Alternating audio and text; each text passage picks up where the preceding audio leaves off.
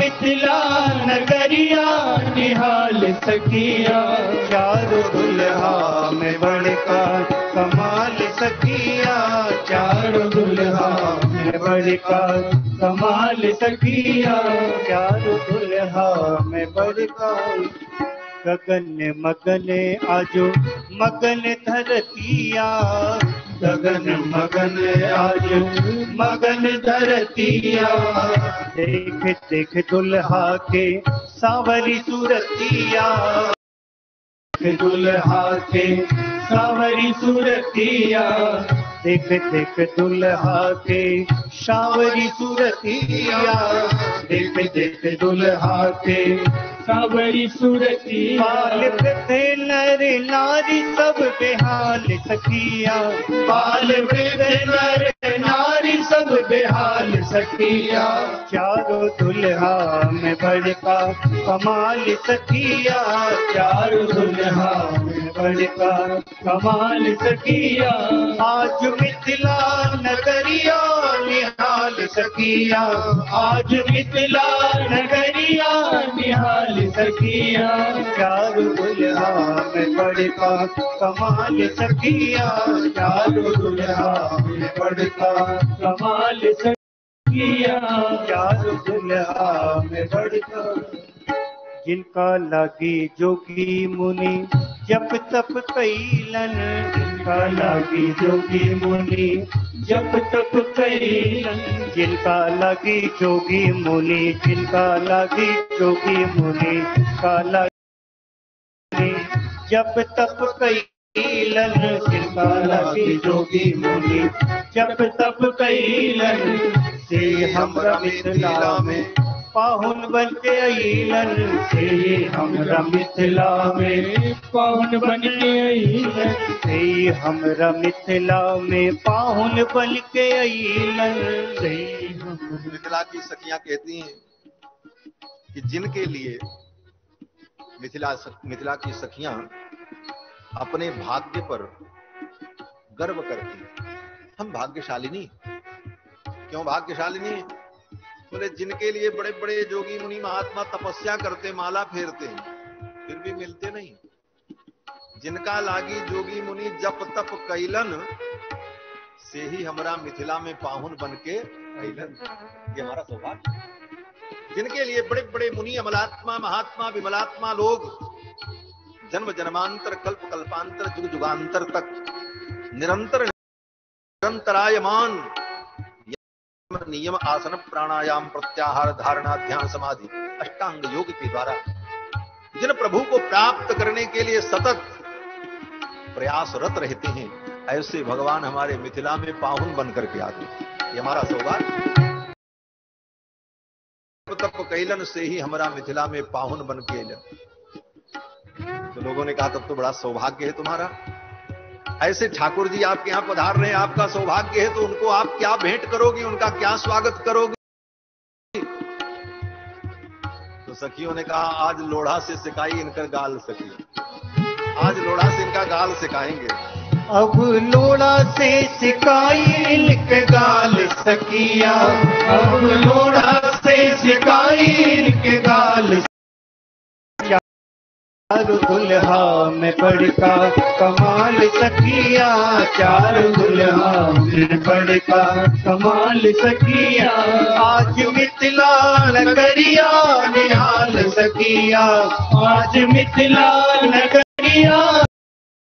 सकिया चारों दुल्हा में बड़का कमाल सकिया चार दुल्हा में बड़का कमाल सकिया चार दुल्हा में बड़का कमाल सकिया चार दुल्हा में बड़का कमाल सकिया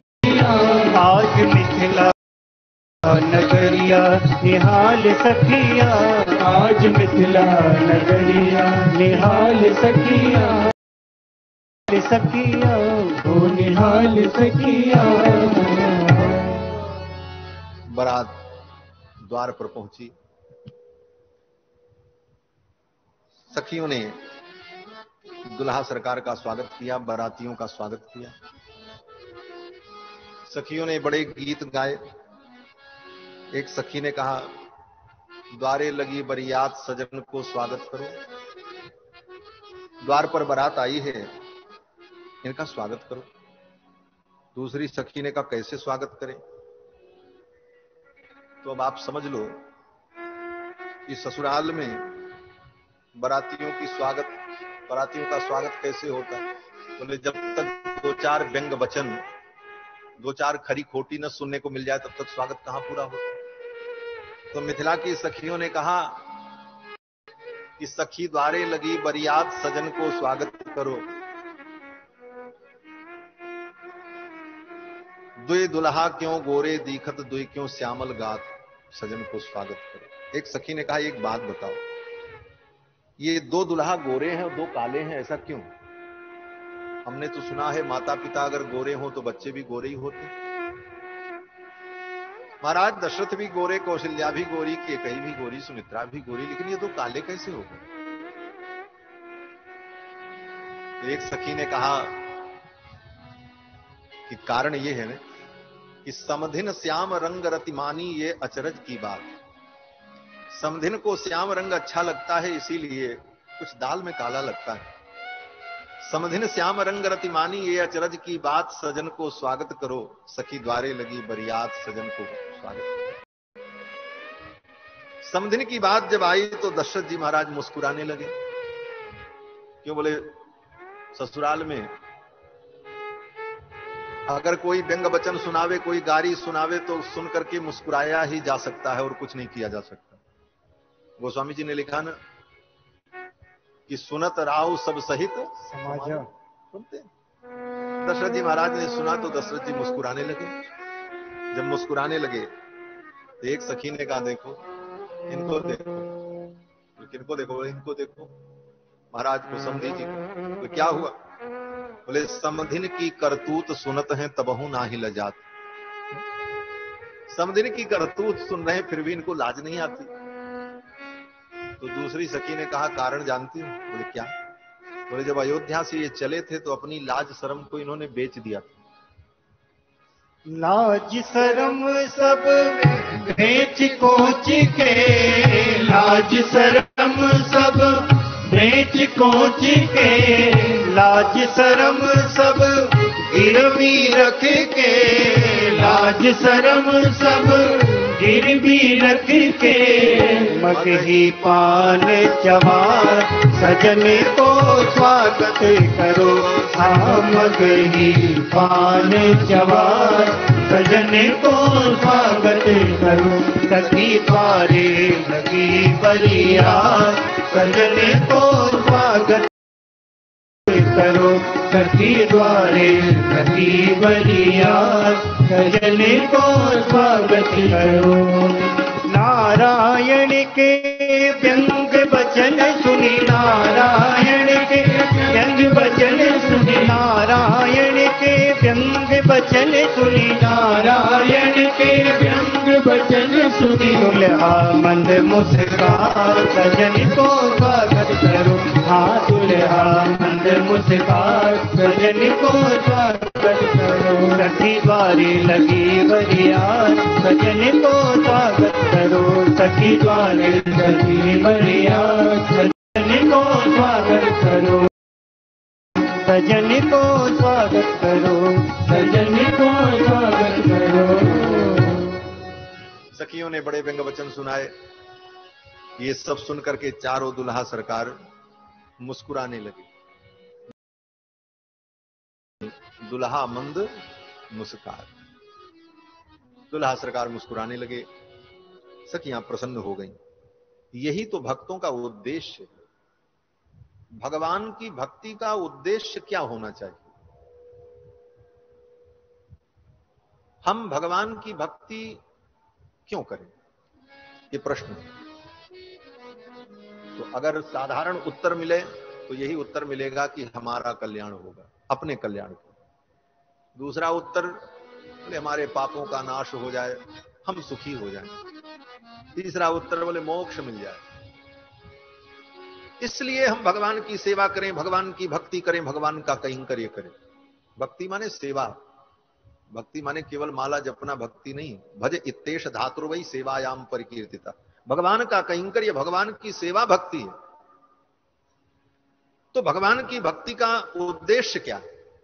कहते हैं, ये सब उद्देश्य जो है, धन की प्राप्ति, सुख की प्राप्ति, दुख की निवृत्ति, मोक्ष की प्राप्ति, ये सब साधारण उद्देश्य चरम उद्देश्य क्या है? बोले, मेरी सेवा से, मेरी भक्ति से मेरे आराध्य प्रसन्न हो जाए, उनका मुख मुस्कुराने लगे। सेवा का यही फल है। हमारी सेवा से, हमारे सेव्य, हमारे आराध्य को सुख हो, उनको प्रसन्नता उनके मुख पर प्रसन्नता की छटा दिखाई पड़ जाए, बस हमारी सेवा सफल हो। इसी को हमारे पूर्वाचार्यों ने कहा भगवत मुखोल्लास। भगवान के मुखोल्लास के लिए हम भगवान की सेवा करें। अपने लिए नहीं।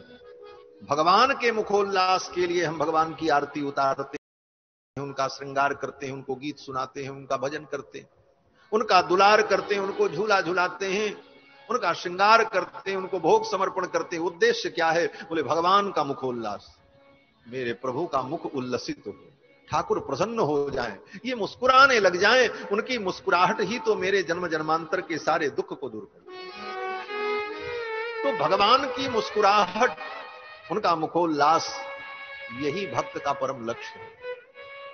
अब ये कैसे भी हो जाए, चाहे सेवा से हो, चाहे वाणी से हो, चाहे व्यवहार से हो केवट ने भी यही तो किया। केवट के द्वार पर भगवान जब पहुँचे, गंगा के तट पर तो केवट ने सोचा, मैं इनकी क्या सेवा करूँ? किस सेवा से इनका मुखोल्लास हो? कौन सी ऐसी मैं सेवा करूँ कि इनका मुख प्रसन्न हो जाए? मुस्कुराने लगे, हंसने लग। जाए क्यों बोले? राम जी बड़े गंभीर थे, अयोध्या से आए तो बड़े चिंतित थे। अयोध्या छूट गई। ये बात अलग है कि राम जी के विषय में मान्यता जो है, सिद्धांत तो यही है कि न ममले वनवास दुखतः मुघाम्बुज श्री रघुनंदन से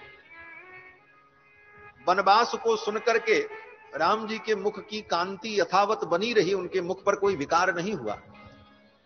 ये अलग विषय है। उस विषय का जब प्रतिपादन करेंगे तो बिंदु दूसरा होगा। उसमें बिंदु यह है कि अयोध्या का राज्य मिलने वाला था, इसलिए कोई खुशी नहीं, चला गया तो कोई दुखी नहीं। लाभा लाभ हो जया देव लेकिन अयोध्या छूट गई, अपने परिजन छूट गए, माता पिता छूट गए, इस बात का भगवान को दुख है। इस बात को लेकर के भगवान का मुख प्रसन्न नहीं है, चेहरे पर कांति नहीं दिख रही। केवट ने देखा।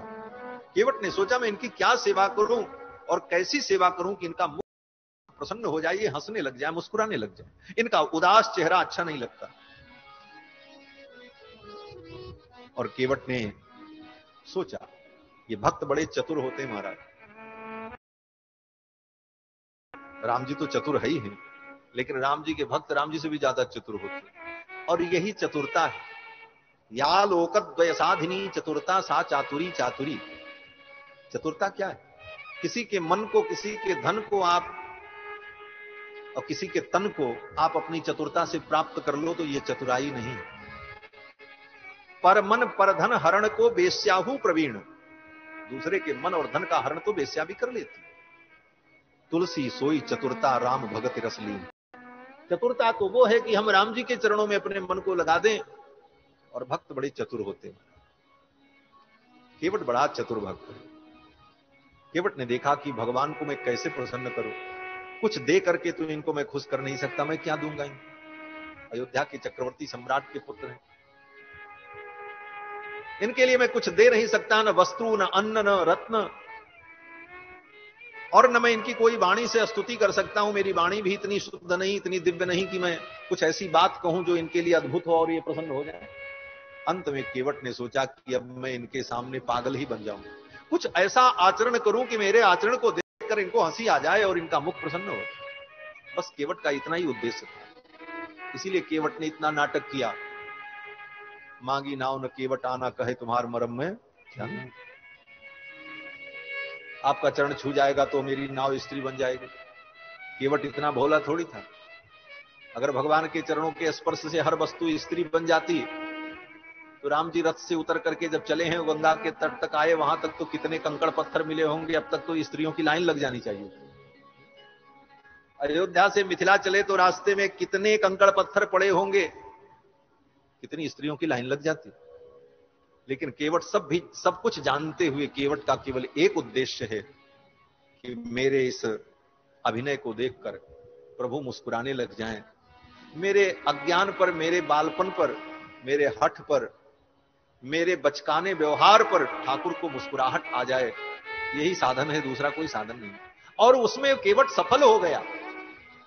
केवट के इस व्यवहार को देख करके भगवान प्रसन्न हो सुन केवट के बैन प्रेम लपेटे अटपटे बिहसे करुणा।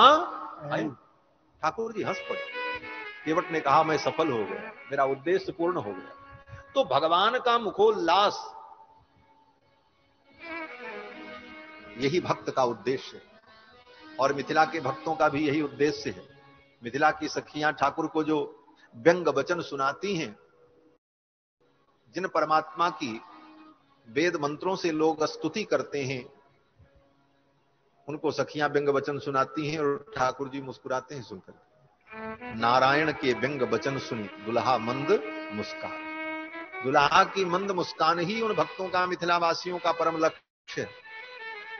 इसलिए मिथिलावासी कहते हैं, मिथिला निवासी बरबेस के उपासी सदा, हमें क्या ज़रूरत रघुनंदन धन बाण सुन?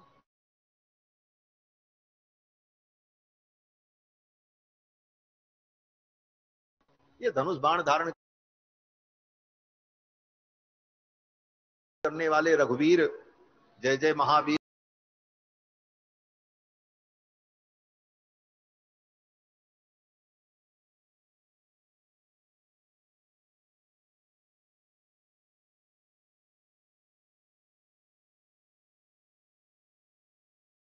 महादेव रॉयल लोगों की रॉयल पसंद रेड रॉयल चाय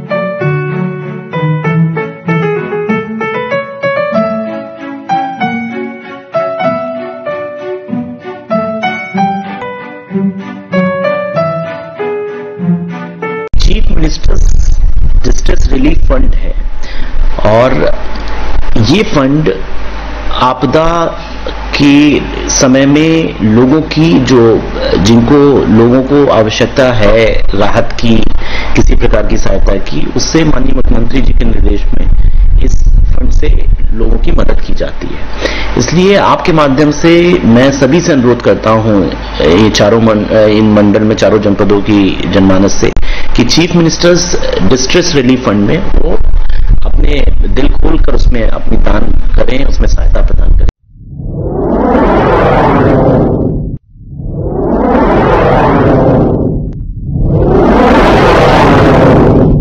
यही धर्माधर्म की परिभाषा। बार बार मैं कथाओं में कहता हूँ, धर्म क्या है? पात्र, अधिकारी, काल, इन सब पर विचार करके धर्म का निर्णय होता है। कोई वस्तु किसी काल में किसी व्यक्ति के लिए धर्म होती है, वही वस्तु किसी काल में किसी अन्य व्यक्ति के लिए अधर्म होती है। इस बात को जब तक हम ठीक ठीक नहीं समझते, तब तक हम धर्म के रहस्य को नहीं समझ पाते। सबके लिए सब धर्म नहीं होते। आज राम जी मिथिला में पधारे हैं, अब गृहस्थ जीवन में प्रवेश करने जा रहे हैं, उनके लिए तांबूल भक्षण धर्म है। इसलिए पान खाया राम। पहली बार पान खाए। और पान जो नहीं खाता, पहली बार उसको पान खिला दो तो क्या होगा?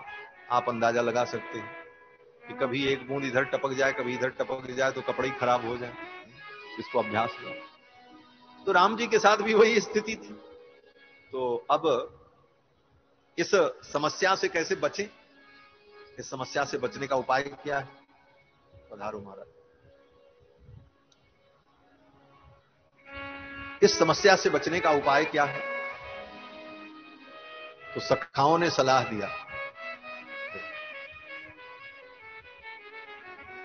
भाई, कुर्सी लगा दो महात्माओं के आचार्यों के इधर से लाके लगा दिए बोलो, श्री सीता रामचंद्र भगवान की जय। आज राम जी का विवाह है ना तो सब अयोध्या से चल करके जितने दाढ़ी वाले हैं, सब आए होंगे तो दो बार भगवान नाम संकीर्तन कर लें सीताराम राम राम सीताराम राम राम सीताराम राम राम सीताराम राम राम सीताराम राम राम सीताराम राम राम सीताराम राम राम सीताराम राम राम सीताराम राम राम सीताराम राम राम सीताराम राम राम सीताराम राम राम सीताराम राम राम राम राम सीता राम राम राम सीता राम राम राम सीता राम राम राम सीता राम राम राम सीता राम राम राम सीता राम राम राम सीता राम राम राम सीता राम राम राम सीता राम राम सीताराम राम राम श्री सीता रामचंद्र भगवान की जय चारों दुल्हा सरकार पान खा रहे थे। तो पान का रस कहीं कपड़े पर गिर जाए तो पोज बिगड़ जाएगी। इसलिए सखाओं ने सलाह दिया कि, भैया, एक काम करो। बोले, क्या? बोले, एक रुमाल ले लो। और रुमाल लेकर के उस रुमाल को ऐसे मुँह पर लगाए रहो। और कहीं गिरे उरे तो धीरे से साफ़ कर लेना, किसी को पता भी नहीं चलेगा। तो चारों दुल्हा सरकार पान खाते हुए रुमाल से अपने मुख को ढके हुए मुस्कुरा रहे थे। सखियों ने व्यंग सुनाया। कि कचरत पान मंद मुस्कात, करत कमाल छवि रेशमी रुमाल की। सरकार बहुत अच्छे लग रहे हो। अब आप घोड़े से उतर करके पैदल आँगन में चलो। उतरी पधारो पग पावणे, ललित गति उपमा बतावे सखी एक एक चाल की। अब आप उतर करके पैदल चलो। तो सखियाँ, आपके चाल की उपमा बताएँगी आप चलते कैसे? हो की चाल कैसी हो? तो लक्ष्मण जी को अच्छा नहीं लगा। लक्ष्मण जी ने कहा यह कौन सी धृष्टता है? अब चाल देखने का समय है। मेरे प्रभु की चाल देखोगी तुम? तो सखियों ने कहा, सरकार जब तक चाल ठीक नहीं होगा तो विवाह कैसे होगा? जिसका चाल चलन ठीक होता, उसी का विवाह होता है। आपका चाल चलन ठीक रहेगा तो विवाह होगा, नहीं तो नहीं होगा। लक्ष्मण जी ने कहा, अब चाल चलन देखने का समय ये तो पहले देखना चाहिए तो सखियों ने कहा, अभी क्या बिगड़ा? अभी विवाह थोड़ी हुआ। अभी तो केवल बारात आई। अगर चाल चलन ठीक नहीं होगा तो बारात लौट जाएगी। लक्ष्मण जी ने कहा, ये सखियाँ तो बड़ी विचित्र है। लक्ष्मण जी ने कहा, वाह! ऐसी बुद्धिमत्ता में कि पाती भेज सगाई कर दई बुला ली बारात।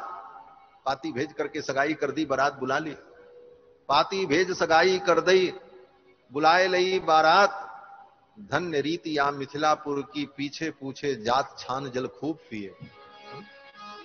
जब ब्याह तय हो गया, तब जाति और पाती और गोत्र पूछ रहे हैं। ये तो पहले पूछना चाहिए। आप तो बहुत छान करके पानी पिए। लक्ष्मण जी ने जब इस प्रकार कहा तो सखियों ने कहा, सरकार कोई बात नहीं, आप उतरो और पैदल चलो। लक्ष्मण जी थोड़ा रोष में बोल रहे थे। तो एक सखी ने कहा लखनलाल ये आपका घर नहीं है? यहाँ बहुत संभाल करके बोलिएगा। सखियों ने कहा, कि करके ख्याल लक्ष्मण लाल सुनो, न बजई हो यहाँ गाल ये गली है ससुराल की। करके ख्याल लक्ष्मण लाल सुनो, न बजई हो यहाँ गाल ये गली है ससुराल की। लक्ष्मण जी ने कहा, ससुराल की गली की क्या विशेषता है? तो सखियों ने कहा कि घर ना ही ससुरारी है, इतना बुझिया पक्का, अब बड़े बड़े लोगन के छूटे ससुरारी में छक्का, बड़े बड़े लोगों का छक्का छूट जाता है ससुराल में। आप किस खेत की मूल सखियों ने कहा कि उतरे पधारो, पग पावणे, ललित गति उपमा बतावे, सखी एक एक चाल की करी के ख्याल लक्ष्मण लाल सुनो ना बजई हो यहाँ गाल ये गली है ससुराल। लक्ष्मण जी ने कहा, क्या करोगे? सखियों ने कहा, अगर कोई दुल्हा गाल बजाता है ना तो उसका गाल बजाना हम बंद कर देते लक्ष्मण जी ने कहा, कैसे? तो सखियों ने कहा, ये आरती की थाली देखो। वो सामने आरती की परछन की थाली लेकर के सखियाँ खड़ी थी। सखियों ने कहा, बोलियो विचार न तो शिष्टाचार हो ये खूब। लीजिए निहार। बोलियो विचार न तो हो ये शिष्टाचार खूब। लीजिए निहार झांकी परिछन के ताल की। लक्ष्मण जी ने देखा परछन की थाल को। उस थाल में एक दीपक जल रहा था। एक तरफ़ थोड़ा चंदन रखा था। और उसी थाली में एक जलपात्र छोटा सा था। और उसी में एक लोढ़ा रखा हुआ था। लोढ़ा जानते हैं ना, मसाला पीसने वाला अब तो सबके घर में मिक्सी आ गई, आने वाली पीढ़ी तो लोढ़ा भी नहीं जानेगी कि लोढ़ा क्या। तो लोढ़ा भी रखा था उसमें। लक्ष्मण जी ने देखा। तो लक्ष्मण जी ने सोचा कि भाई दीपक तो आरती करने के लिए होगा। और ये जो पात्र में जल है, ये शीतलीकरण के लिए, आचमन करने के लिए होगा। चंदन अक्षत पूजा करने के लिए, लेकिन इस लोढ़े का क्या उपयोग? लक्ष्मण जी को समझ में नहीं आया। तो लक्ष्मण जी ने पूछा, ये किस लिए? सखियों ने कहा, सरकार, आप जैसे दुल्हा के लिए। लक्ष्मण जी ने कहा, क्या उपयोग है इसका? तो सखी ने कहा कि जो दुल्हा बहुत गाल बजाते हैं ना, उनका गाल बजाना बंद करने के लिए इसका उपयोग किया जाता है। लक्ष्मण जी तो चौंक गए। सखी ने कहा कि आरती की बाती में ताती कर, आरती की बाती में छिपाए लोढ़ा ताती कर सारी सरहज सब सिकाई करें गाल की। जब परछन करेंगे तो इस लोढ़ा को धीरे से, इसी बत्ती पर गर्म करेंगे जो दीपक जल रहा। और आप जान नहीं पाओगे। और परछन करने के बाद दुल्हा के गाल में लोढ़ा छुआया जाता है। बोले, जब छुआएँगे तो छन्न से लगेगा। तो आपका गाल बजाना बंद हो जाएगा। आरती की बाती में छिपाए लोढ़ा ताती कर सारी सरहद सब सिकाई करें गाल की। करी के ख्याल लक्ष्मण लाल सुनो न बजई हो यहाँ गाल ये गली है ससुराल। सखियों ने जब इस प्रकार कहा तो चारों दुल्हा सरकार फिर उतर गए थोड़े से, और पैदल पैदल आँगन में चल रहे बड़े धीरे धीरे चल रहे थे। धीरे धीरे दुल्हा सरकार जब चल रहे थे तो एक सखी ने कहा दुल्हा सरकार इतने धीरे धीरे चल रहे हैं। कैसे लग रहे हैं? जरा उपमा बताओ। एक सखी ने कहा कि लग रहा जैसे कोल्हू का बैल धीरे धीरे चल रहा है। पग धीरे कैसे धूल हादरत है सखी? पग धीरे कैसे धूल हादरत है सखी? चले धीरे जैसे कोलू के बरद है सखी। धीरे जैसे कोलू के बरद है सखी। पग धीरे कैसे धूल हादरत है सखी। पद धीरे कैसे धूल हादरत है सखी। चले धीरे जैसे कोलू के बरद है चले धीरे जैसे सखी सखी ने कहा, ये दुल्हा सरकार धीरे धीरे चल रहे हैं, लग रहा है जैसे कोल्हू का बैल चल रहा तो एक सखी ने कहा कि कोल्हू के बैल से उपमा इनकी क्यों दी? बरद वही जो पेरे सरसों घानी है सखी। एक सखी ने कहा, बरद तो वही होता है जो सरसों की घानी पेरता इनको आपने बरद क्यों कहा? उपमा और उपमेय में सादृश्य होना चाहिए। तभी उपमा अलंकार सिद्ध होगा। कुछ सादृश्य तो होना ही चाहिए पूरी पूरी तो समानता नहीं होती उपमा उपमेय में। जैसे किसी को कोई उपमा देता है कि भाई इनका मुख चंद्रमा के समान है। तो चंद्रमा के समान कहने का मतलब चंद्रमा तो बहुत बड़ा है, उतना बड़ा किसी का मुख हो नहीं सकता। चंद्रमा एक विशाल पिंड है लेकिन चंद्रमा के अंदर जो आह्लादकत्व है, चंद्रमा के अंदर जो, चंद्रमा को देखने पर जो आह्लाद और सुख होता है, उसी प्रकार का कुछ मिलता जुलता सुख जिसके मुख को देख करके हो, इस दृष्टि से इस समानता को लेकर के कह देते हैं कि चंद्रमा के समान मुख है, कुछ समानता। तो सखियों ने कहा, भाई, इनको बैल कहा कि ये बैल के समान चल रहे हैं, जैसे कोल्हू का बैल। तो कोल्हू के बैल से इनकी कोई समानता है किसी अंश में? तो सखियों ने कहा, हाँ समानता है। बोले, क्या है? सखी ने कहा, कोल्हू का बैल वही होता है जो सरसों की घानी पेरता है, और ये भी कोल्हू चलाते हैं। कोल्हू चलाते हैं? सखी ने कहा, ये संसार ही इनका कोल्हू है। और इस संसार के कोल्हू में रात दिन रात दिन ये चक्र चलता रहता है। इसको चलाने वाले कौन है? बोले, यही हैं। और इस कोल्हू में पीसते किसको हैं? सखियों ने कहा, संसार के जीवों को डालकर, अनंत अनंत जीवों को डाल करके पुनरपि जननम, पुनरपि मरणम, पुनरपि जननी जठरे शयनम।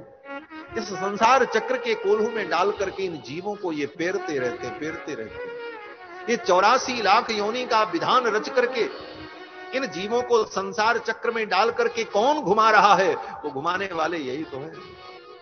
सखी ने कहा, ये चौरासी लाख योनि के विधानी है सखी। ये चौरासी लाख योनि के विधानी है सखी। पग धीरे कैसे दुल्हा धरत है सखी। पग धीरे कैसे दुल्हा चले धीरे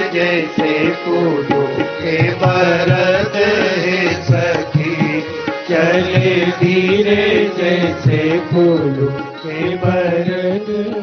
सखी। सखी ने कहा कि ये भी बरद हैं। ये चौरासी लाख योनि का विधान करके जीवों को इस संसार रूपी चक्र में डाल करके पेरते रहते, घुमाते रहते। तो राम जी ने देखा कि अब धीरे चलो तो कोल्हू का बैल बता रही तेज चलने लगे। जब तेज चलने लगे तो सखी ने कहा, दुल्हा सरकार, अब लंबी डेग चल रहे हैं। कैसे लग रहे तो एक सखी ने कहा, जैसे कोई बकरा, जैसे किसी बकरे को बलि चढ़ाने के लिए कोई ले जा रहा हो और उसको पता चल जाए और बंधन से छूट जाए तो भागता है जान बचा करके। बंधन से छूटी अज भागे है सखी। जैसे बंधन से छूट करके अज भागता है, उसी प्रकार ये भाग रहे हैं बकरे के समान दौड़। एक सखी ने कहा, बकरे की उपमा क्यों दी? अज की उपमा क्यों दी? तो सखी ने कहा, अज का मतलब अजन्मा। जिसका जन्म न हो, उसको कहते हैं अज। अजाय मानो बहुधा विजायते वेद ने भी कहा। अजाय मानो बहुधा विजायते जो अजायमान है, कभी जन्म लेता नहीं, लेकिन अनेक रूपों में प्रकट हो जाता। तो ये भी अज है, अजन्मा है, इनका जन्म नहीं हुआ, ये तो प्रकट हुए हैं, भय प्रकट कृपाला और अज इसलिए भी है कि इनके जो पुरखा थे, उनका नाम भी अज था। अज के खानदान में जो पैदा हो, वो अज। और अगर पशु की दृष्टि से कहा जाए तो यज्ञ का जो पशु होता है वो यज्ञ का पशु भी परमात्मा का ही रूप होता है, सोम आज्यम पशु, वेदव्यास जी कहते हैं। ऋत्विजो दंपति देवता, सोम आज्यम पशु, यज्ञ के जो ऋत्विज होते हैं, यज्ञ के जो जजमान होते हैं, यज्ञ में जो वस्तुएँ प्रयुक्त की जाती हैं, यज्ञ के लिए जो आज्य होता है, यज्ञ में जो पशु होता है, यज्ञ का जो यूप होता है, सब यज्ञमय होता है, सब परमात्मा का ही रूप होता है। और ये राम जी कौन है? बोले, ये तो यज्ञमय यज्ञ से ही इनका प्रादुर्भाव हुआ है। यज्ञ की इन्होंने रक्षा की है। और विवाह भी इनका यज्ञ में ही हो रहा है, धनुष यज्ञ। धनुष यज्ञ सुन रकुल नाथा हर्ष चले मुनिवर के। सखियों ने कहा, ये तो बकरे के समान दौड़ रहे हैं। तो राम जी ने देखा, धीरे चलो तो बैल कहती हैं, तेज चलो तो बकरा कहती अब चलेंगे, खड़े हो चारों दुल्हा आँगन में खड़े हो गए। सखियों ने कहा, आप चारों दुल्हा खड़े हैं, कैसे लग रहे हैं? जरा बताओ। कैसे लागे अब अंगना में ठाड़े है सखी? कैसे लागे अब अंगना में ठाड़े है सखी? जो तो बड़े नील मणि खम्ब गाड़े है सखी। जो तो बड़े नील मणि खम्ब गाड़े है सखी पग धीरे कैसे धूल आदरत है सखी पग धीरे कैसे धूल आदरत है सखी चले धीरे जैसे कोलू के भरत हे सखी चले धीरे जैसे भरत सखी ने कहा कि अब तो लग रहा है जैसे चार खंभे खड़े हों। हाँ, चारों दूल्हा खड़े हो। सखी ने कहा लग रहा है जैसे चार खंभा खड़ा हो चार पिलर तैयार हैं केवल ऊपर छत लगाने की ज़रूरत नहीं खंभे जैसे दिख रहे एक सखी ने कहा खंभा तो जड़ होता है और दुल्हा चैतन्य चैतन्य की उपमा जड़ से देना, ये तो उपमा उपमेय में सर्वथा वैभिन्न होगा। तो एक सखी ने कहा, इनके लिए सब उपमा चल जाती है। क्यों? बोले, जड़ चेतन सब में इनकी व्यापकता है। अंतर बहिश्च तत्सर्वम व्याप्य नारायण स्थित। ईसावास्यमिदम सर्वम यत्किंचित जगत्याम जगत्तेन त्यक्तेन भुंजी था मागृध सुशुद्धनम वेद भगवान कहते हैं कि कण कण में सबके अंतर्यामी रूप में ये विद्यमान है तो इनके लिए कोई भी उपमा दे दी जाए तो वो सार्थक हो जाएगी, इसमें कोई आपत्ति नहीं। इस प्रकार बड़ा सुंदर मनोविनोद हुआ। इस प्रकार से दुल्हा सरकार को सखियाँ लेकर के मंडप में आई। प्रसंग बड़ा लंबा है। ये विवाह का प्रसंग तो ऐसा अद्भुत है, महाराज की राम जी के विवाह की कथा पाँच दिन सुनाओ तब भी पूरी नहीं होगी। कितने कितने भाव हैं कितनी कितनी विधियाँ हैं, मिथिला का रस क्या है लेकिन आप इतना ही जानो कि चारों दुल्हा सरकार जब मंडप में आए, विराजमान हुए तो सारे कृत कौतुक मंगल आचार्यों ने संपन्न कराए और कन्यादान का जब समय आया तो दशरथ जी महाराज जनक जी से कहते हैं कि अब आगे की विधि आप बताइए क्या करना। अब दशरथ जी को क्या करना, विवाह में पिता की कोई भूमिका नहीं होती। एक बात ये जान लीजिए। पिता केवल एक अभिभावक के रूप में रहता, बाकी कन्या के पिता की भूमिका होती, वो कन्यादान करता। बाकी वर के पिता की कोई बहुत बड़ी भूमिका, शास्त्रीय भूमिका वहाँ पर नहीं होती। हाँ उपस्थित वो रहता। लेकिन दशरथ जी महाराज, इतने व्याकुल हैं कि आगे जल्दी से विधि संपन्न हो कन्यादान हो। तो दशरथ जी ने कहा कि हे जनकराज, अब आगे की क्या विधि होनी चाहिए आप संकेत करें? तो जनक जी ने कहा तस्थित प्रतिहारो में कस्याज्ञाम संप्रतीक्षते। हे राजन, आपको कौन रोकने वाला है? ये आपका ही घर है। आप जो कहो हम करें। आप आज्ञा करो। यहाँ किसी को किसी से पूछने की ज़रूरत नहीं है। और आप तो वर पक्ष के हैं, पिता हैं वर के। आप जो आज्ञा करेंगे, हमारे लिए सिरोधार्य होगा। फिर तो दशरथ जी ने कहा, कन्यादान की विधि संपन्न की जाए। महर्षियों ने, वेदज्ञ विद्वानों ने वेदी का निर्माण किया। प्रपा मध्य तो विधिवत वेदिम कृत्वा महातपाह सुंदर प्रपा का वेदी का निर्माण किया गया। अलंचकारताम वेदिम गंध पुष्प ही चंदन अक्षत पुष्प से उस वेदी का अलंकरण हुआ और सुवर्ण पालिका स्थापित की गई। फिर वेद मंत्र पूर्वक अग्नि स्थापन किया। आहुति प्रदान हुई। जुहावाग्नौ महातेजा वशिष्ठो मुनिपुंगव। वशिष्ठ जी महाराज ने आहुतियाँ प्रदान की और फिर अग्नि के साक्ष्य में कन्यादान का जनक जी महाराज संकल्प करते बस कन्यादान का संकल्प कह करके ही कथा को विराम करेंगे, शेष चर्चा कल करेंगे।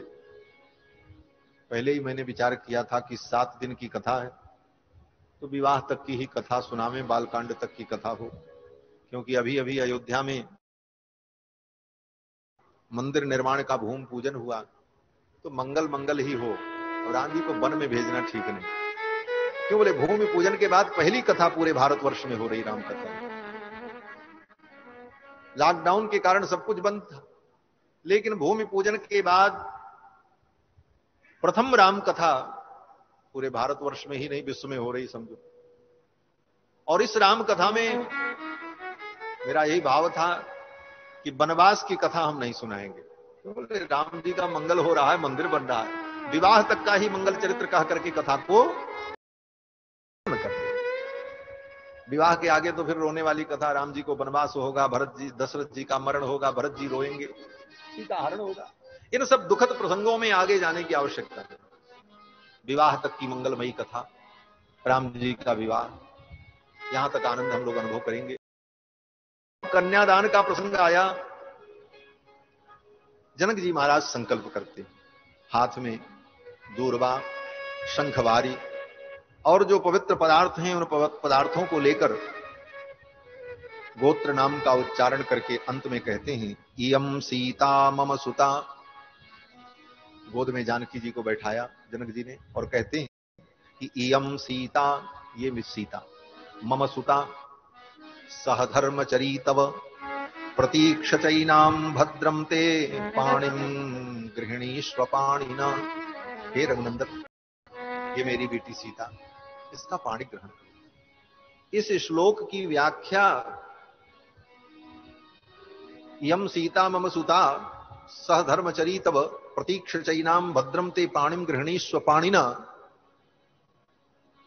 इस श्लोक की व्याख्या हमारे पूर्वाचार्यों ने वाल्मीकि रामायण की व्याख्या में इतनी की है महाराज, इतना लिखा है। एक एक शब्द पर बड़े बड़े भाव है महाराज जनक जी कहते हैं, इयम सीता। इयम माने सम्मुख उपस्थित जो है। यम और अयम, इदम का प्रयोग सम्मुख उपस्थित वस्तु के लिए होता है। जनक जी कहते हैं यम सीता, ये सीता। कहने का भाव क्या है? बोले, ये वही सीता है। कौन सीता? बोले, जिनके लिए आपको अयोध्या से चल करके पैदल आना पड़ा। यम सीता, ये वो सीता हैं जिनको विश्व के सभी राजा चाहते थे, लेकिन ये किसी को प्राप्त नहीं हुई। रघुनंदन, ये तुम्हें प्राप्त होगी। यम सीता यम सीता। ये सीता है। क्यों? बोले, रघुनंदन, अगर तुम्हें इस बात का गर्व है कि तुम किसी माता पिता से उत्पन्न नहीं हो, स्वयंभू हो, स्वयं प्रकट हो, निज इच्छा निर्मित तनु तो हे रघुनंदन, ये सीता भी साधारण नहीं है। इयम सीता। ये हल्के अग्रभाग से भूमि से उत्पन्न हुई है। इयम सीता, मम सुता, ये मेरी पुत्री। अगर तुम अयोध्या के राजा के पुत्र हो, धर्मनिष्ठ राजा चक्रवर्ती दशरथ के पुत्र हो तो ये सीता भी मेरी लाडली पुत्री है, मम सुता। मैंने अपने जीवन में ब्रह्म और कर्म का समुच्चय प्राप्त किया है। जनक जी का जीवन बड़ा अद्भुत है महाराज जनक जी महाराज के जीवन में योग भी है, भोग भी है और भगवान की भक्ति भी है। जोग भोग महाराख्यो राम बिलोकत प्रगट्यो, सुन। जनक जी ऐसे ज्ञानी है।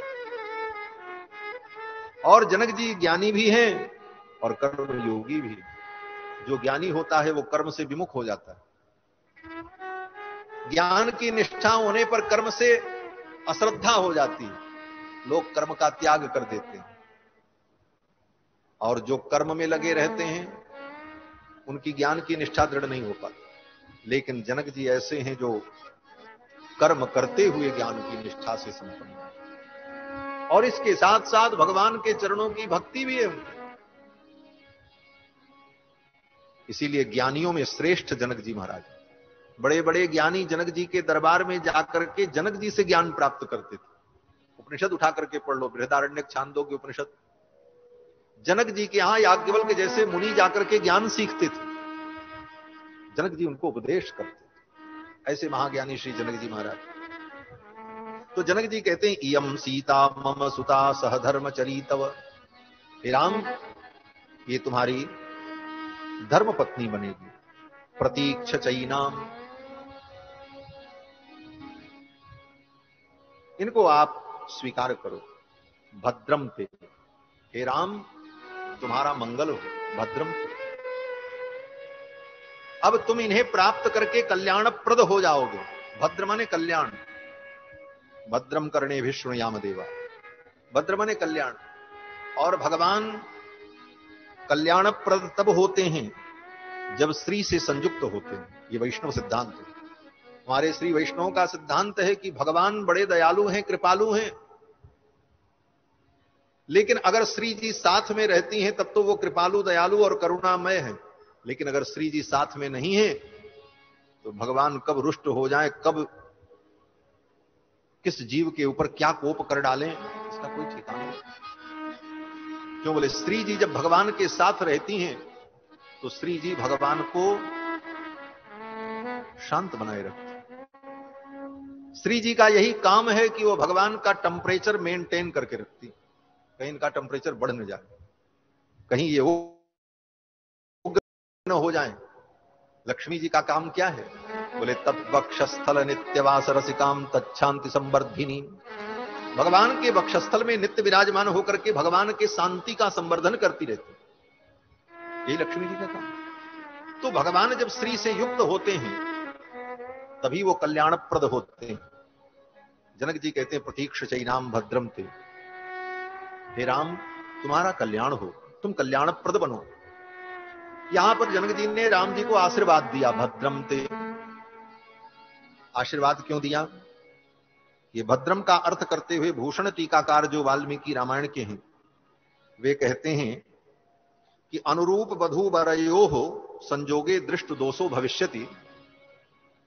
अनुरूप बर बधु को देखकर इस जोड़ी को कहीं दृष्टि दोष न लग जाए, किसी की नज़र न लग जाए इति मंगल मासास्ते इसीलिए मंगल मासास्ते इसीलिए जो है, जनक जी महाराज मंगल कर रहे हैं, आशीर्वाद दे रहे हैं भद्रम ते। हे राम, तुम्हारा मंगल हो। प्रतीक्ष चैनाम भद्रम ते पाणिम गृहिणी स्वपाणेना इतना कह करके जनक जी ने वो मंत्रपूत जल राम जी के हाथ में दे दिया। इत्युक्ता प्राक्षिपत राजा मंत्रपूत जलम तदा। मंत्रपूत जल राम जी के हाथ में दिया। और देवताओं ने पुष्प वृष्टि की। देवदुंद विनिर्घोष पुष्प वर्षो महान भूत देवताओं ने दुंदवी बजाई पुष्प वर्षा की, जय जयकार की। बोलो श्री सीता रामचंद्र भगवान की इसके बाद जनक जी ने फिर संकल्प किया लक्ष्मणा गच्छ भद्रम ते उर्मिला मुद्यता मया हे लक्ष्मण, तुम्हारा मंगल हो, मैं उर्मिला का तुम्हें दान करता। उर्मिला का दान लक्ष्मण जी को किया और फिर मांडवी का कन्यादान भरत मांडव्या पाणिना रघुनंदन। हे रघुनंदन, यहाँ पर रघुनंदन भरत जी के लिए कहा गया। भरत भी रघुनंदन, मांडवी का पाणी ग्रहण, मांडवी का प्राणी ग्रहण करो।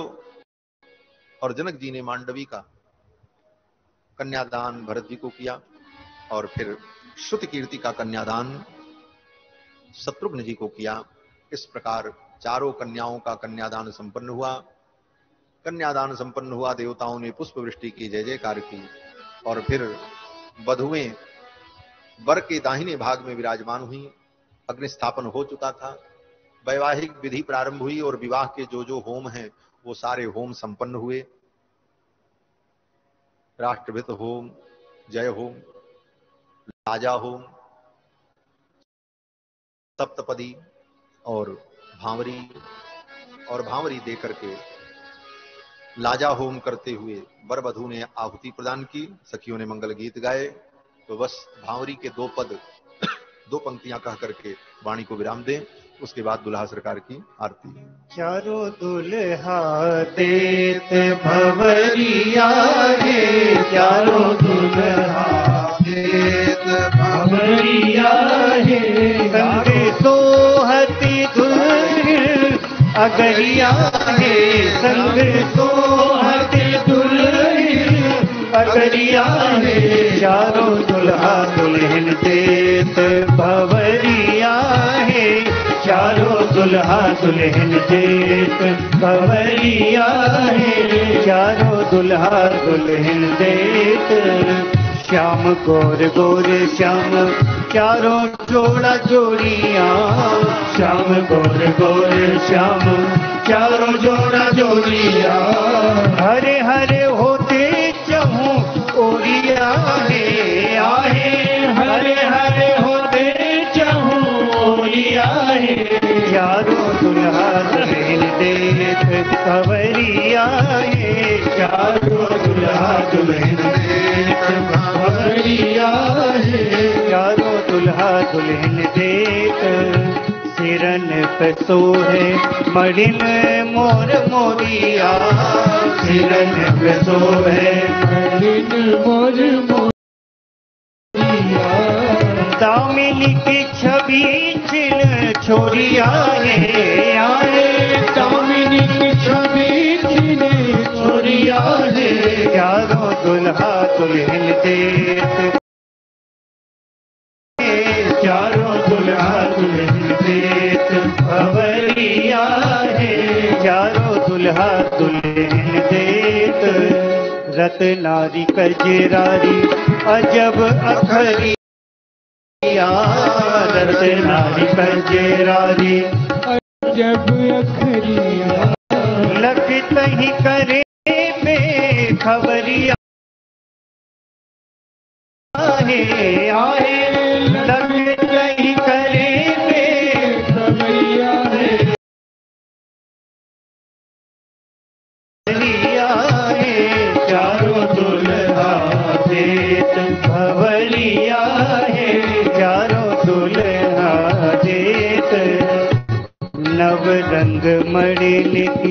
सुपली सुहरिया। नव मणि सुपली सुहरिया। लाव छरिया वे भरे भरिया है। आए लाभ छरिया वे भर भरिया है चारों दुल्हा दुल्हन देत भवरिया है, चारों दुल्हा दुल्हन देत भवरिया है, चारों दुल्हा दुल्हन देत जयति जयति, जय भूत चारों ओरिया। जयति जयति, जय भूत चारों ओरिया। सुर करे की झरिया रे आए झरिया रे चारों दुल्हा।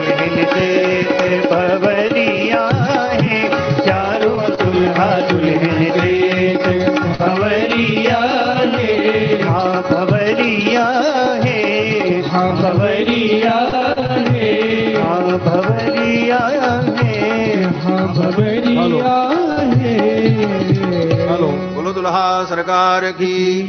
चारो भैयन की। जय। चारों महारानीन की। अवध धाम की। जय। जय जय सीता। हेलो। स्वागत उपस्थित सभी धर्मपाल बंधुओं से निवेदन है कि आरती के आगे इस तरह से भीड़ न लगाएँ। सोशल डिस्टेंसिंग का कोई मतलब नहीं है। आप सब लोगों से बार बार कहा जा रहा है कि दिन भर अगर आप दूरी बना के बैठ रहे हैं तो यहाँ पर इस वक्त लास्ट में भीड़ लगाना तो नहीं ठीक है। आप सब लोग थोड़ा सा सोशल डिस्टेंसिंग के आधार पर खड़े हो और जो मुख्य यजमान हैं, श्री महंत रविंद्र दास जी, लाला बाबू, ओम जालान जी, सीताराम जायसवाल जी श्री चंद्र बांसल जी, अवधेश सिंह, अजय सिंह जी, महेश पोदार जी जवाहर जी, आप सब लोग आरती के लिए आगे सब परिवार आ जाए। बाकी लोग थोड़ी दूरी बना करके खड़े हों। आपके लिए ही फ़ायदा है कि सारी कथा के बाद आप भीड़ लगा लेंगे, बीमार पड़ेंगे तो संकट होंगे इसलिए आप दूरी बना के खड़े हो।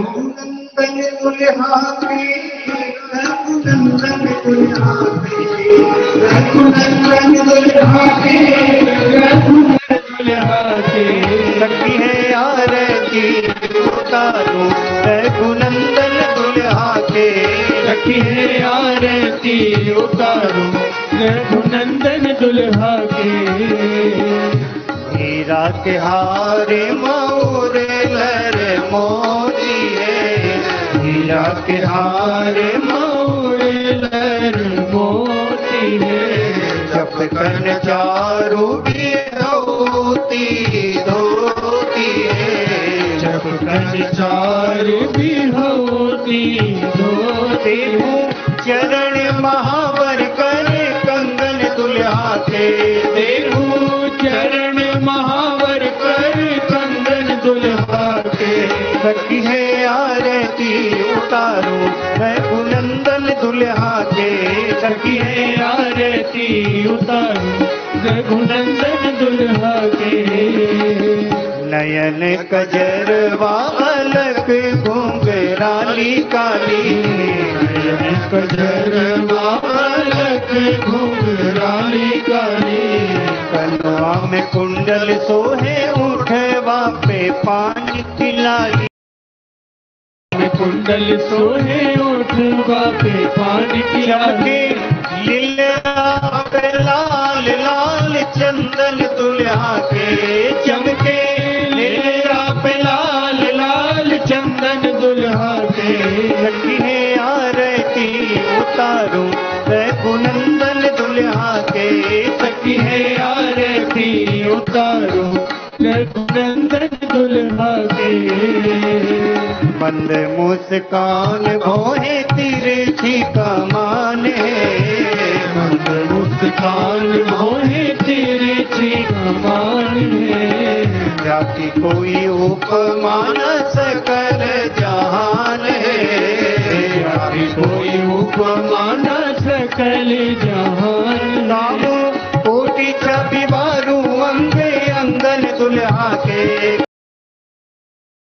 राम कोटि बारू अंग अंगन दुल्हा के सखी है आरती उतारो रघुनंदन दुल्हा के विजय आरती उतारो रघुनंदन दुल्हा के धन्य धन्य मिथिला के सुकृत महान धन्य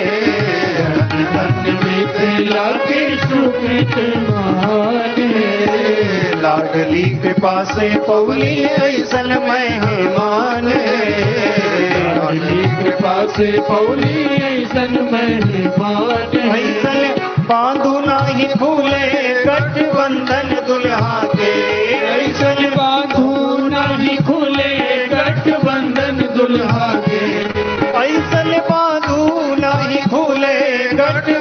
गठबंधन दुल्हा के ऐसन बांधू नहीं खुले गठबंधन दुल्हा के आरती उतारू रघुनंदन दुल्हा के। सखी आरती उतारो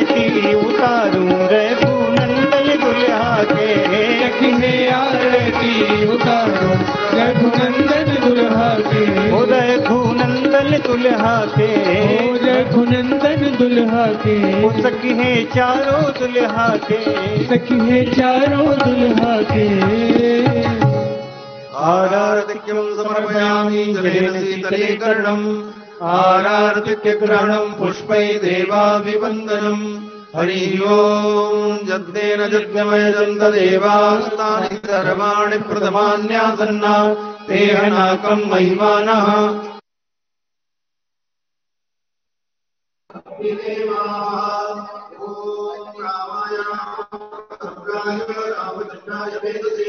रघुनाथाय नाथाय सीताय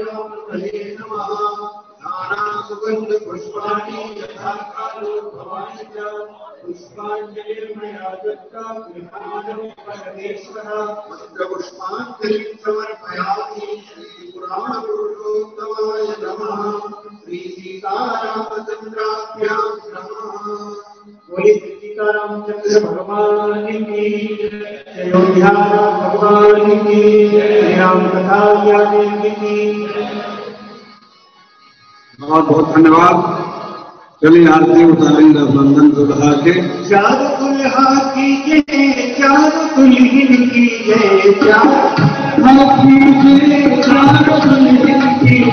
चार की चार की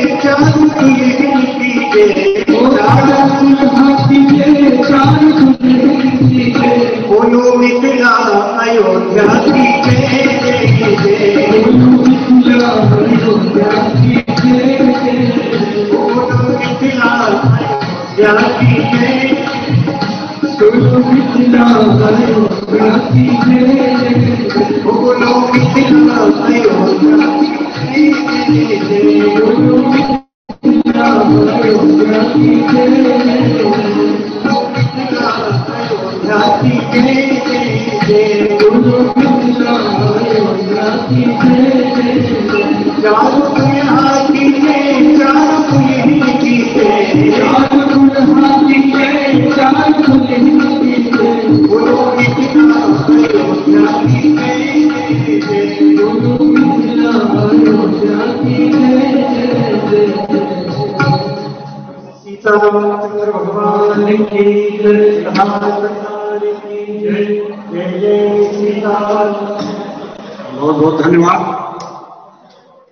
कथा यही विश्राम लेती है और आप सबको सूचित करते हुए मुझे बड़ा हर्ष हो रहा है कि खासतौर से यजमान मित्रों से कि कल कथा का विश्राम दिवस है।